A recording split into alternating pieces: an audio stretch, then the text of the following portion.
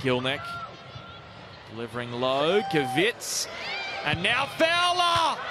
What a strike from Mary Fowler straight into the top corner for her first international goal. A moment to remember forever for Mary Fowler.